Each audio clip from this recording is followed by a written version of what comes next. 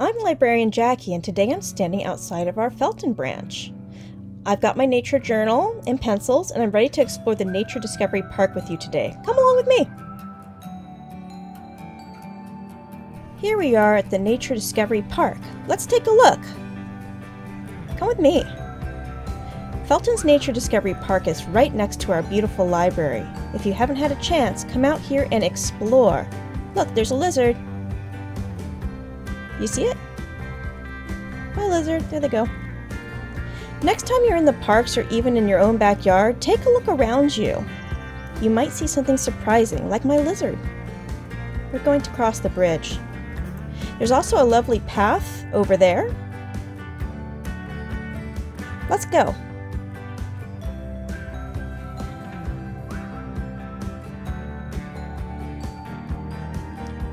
Pause for a moment and take in your surroundings. Today is a beautiful day.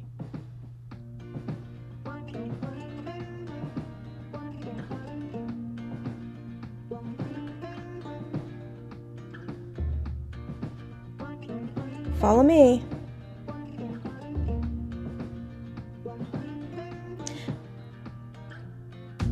Notice the flowers you see along the way. This is yarrow.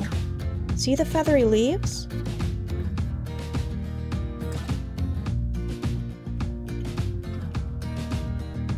Come this way.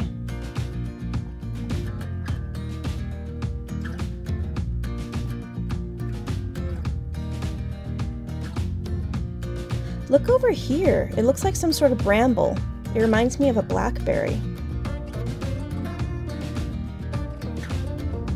See the pink flowers and serrated leaves? And the berries are already forming. It's full of bees. Be careful.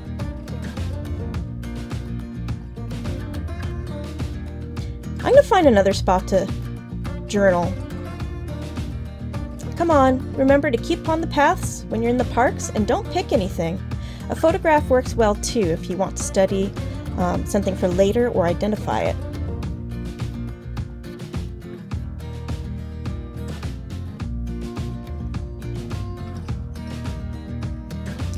Take a moment to listen and to look all around you.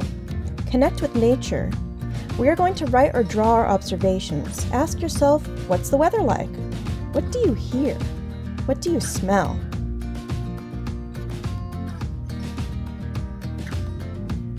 Let's walk around here and find a good spot.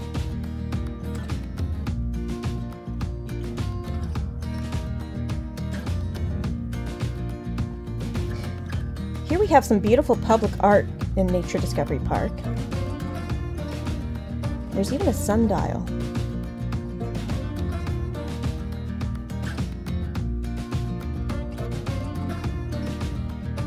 Here's a pretty path. I see willow trees and shadows. I'm going to look around and find what I want to draw. I haven't found it yet. Oh, let's try over there. Look, a butterfly. Nature is all around us. More beautiful artwork.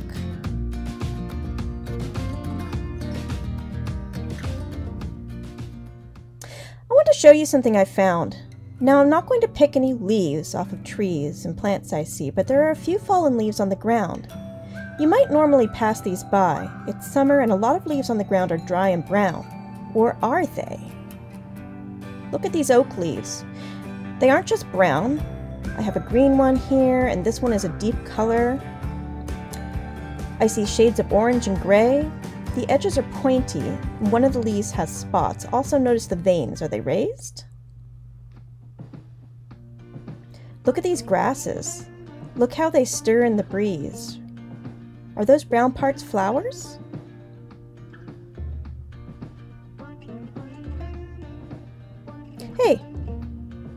I think I found a spot I like.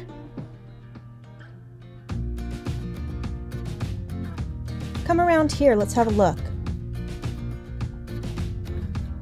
Look at this. I think that's what I want to draw. I see some yarrow, here with its feathery leaves and compound flowers, and some California poppy. Notice some of it is already seeding. There are seed pods. I don't know if you can see them.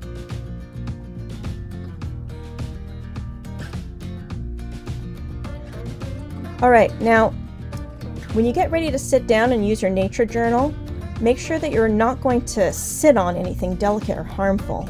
Make sure it's not too hot, and make sure there's no poison oak. Remember, leaves are free, let be. I'm gonna sit. And I'm not gonna pick anything. I'm just here to observe. I'm going to use my nature journal and my pencils, but you can use any art supplies you'd like. I'm going to observe what I see.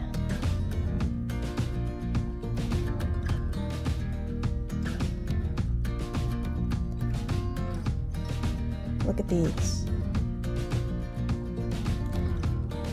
I like to start off with the date and time. Let's write that down. It's about 3.45 p.m. Yeah.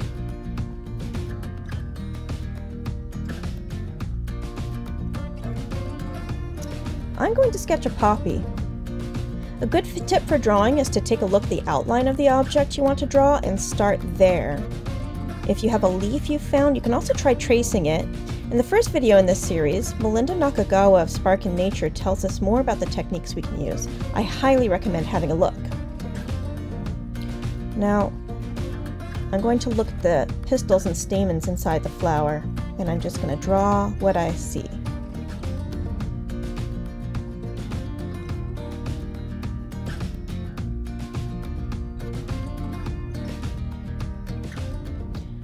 Are the petals smooth edged or notched? How many petals does it have?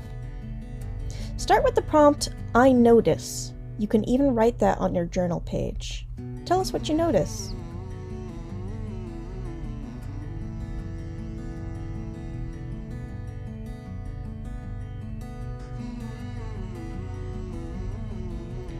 I'm going to draw the seed pod too. There it is.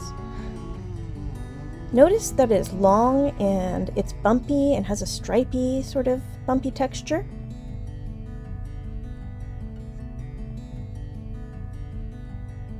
Here it is. You don't have to be an artist to keep a nature journal, you know? Now, I'm going to look at my colors I see orange in the inner part of the flower and the outer part is more yellow. And the stamens are kind of yellow, so I'm going to start there. See? I'll add the orange and the yellow.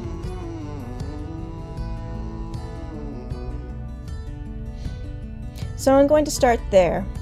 Um, I don't know if you can see, it kind of comes to a point. And I'm going to blend them together so it looks kind of like this to me. It's just going to get the idea of the poppy.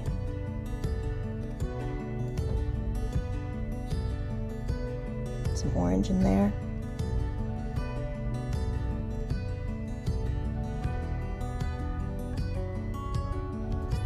You can color it in. You can trace. See the inside there? To look at the colors that I see.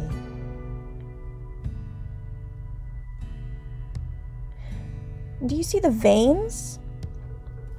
I see veins when I look at the petals. They look like stripes to me. I'm going to show that by making some lines. Those are the veins of the flower petal. Of course, they're not orange all the way through, so I use my yellow pencil. It's just a suggestion of veins. It's not perfect, but it's my poppy. You can erase if you want to later. I might outline mine in black ink. See those veins? Take a look in there. See what you observe in nature.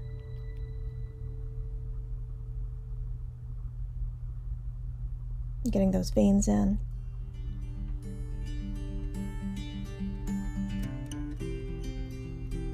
There we go. It's starting to look more like my poppy.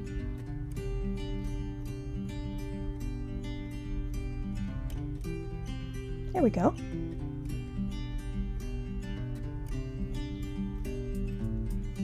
Now, do I see leaves down there? There are tiny feathery leaves. The leaves I see, it's almost like a tiny feather, like that. And I notice that they're green, but they are a silver green. And I wonder what would happen if I added a little bit of black to make it look a little bit more gray.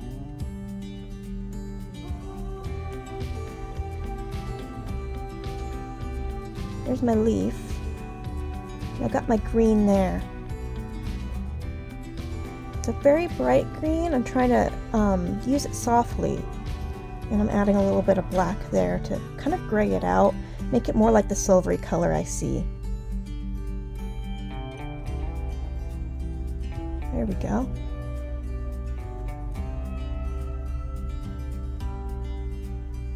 interestingly, I see a little bit of red in there as well, just a little bit on the tips. There's a bit of a blush.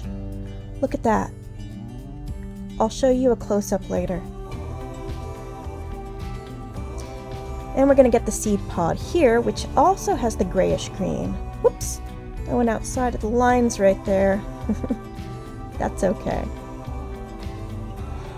And there's a little brown there. I'm going to grab my brown pencil and add a little bit of brown there.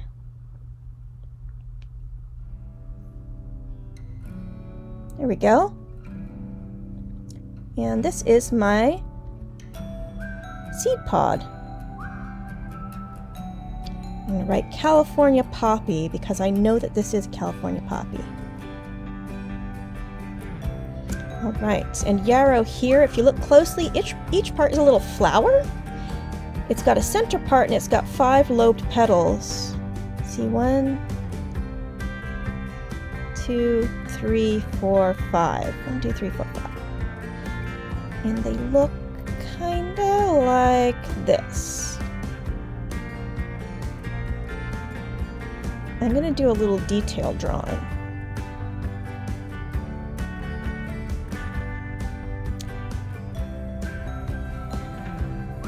let's see, one of those little individual flowers in that compound flower head looks like that.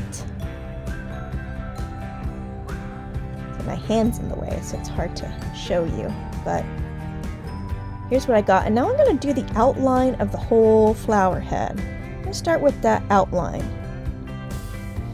Um, you could call this an umbel. It's a big compound flower head.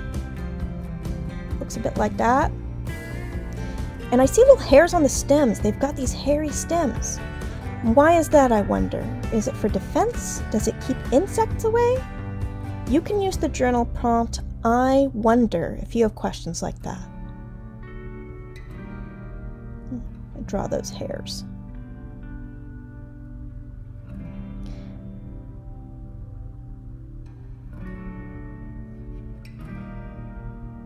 There we go. And they also have feathery leaves, even more feather-like than the poppy leaf. I'm just going to get the basic shape of these and I'm going to fill it in. And then I'll fill in these flower heads. Hey, it's getting sunny. I'm to put my hat on. Remember to protect yourself from the sun. Bring a hat and wear sunscreen. Here's what I have so far. Whew, it's getting hot out here. I'm gonna head out and finish this at home. It's warm.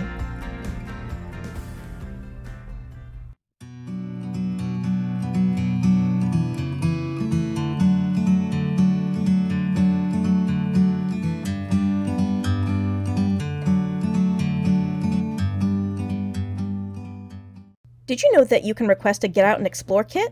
These kits focus either on the mountain or beach parks, and each comes with a California State Park Day Pass, nature guides, a map, and equipment to help you enjoy the natural world and have adventures. Request one today. You must be 18 or older and have a free library card to borrow one. I hope that you feel empowered to get out into nature and explore our parks, neighborhoods, and even our own backyards. Remember to look all around you, and you will find the beauty in nature. And remember to go to www.santacruzpl.org for more wonderful programs, books, and resources. Happy nature journaling!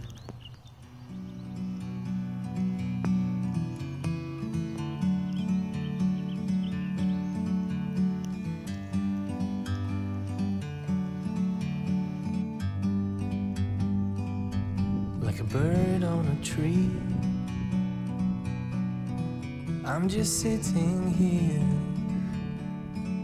I got time, it's clear to see. From up here, the world seems small. We can sit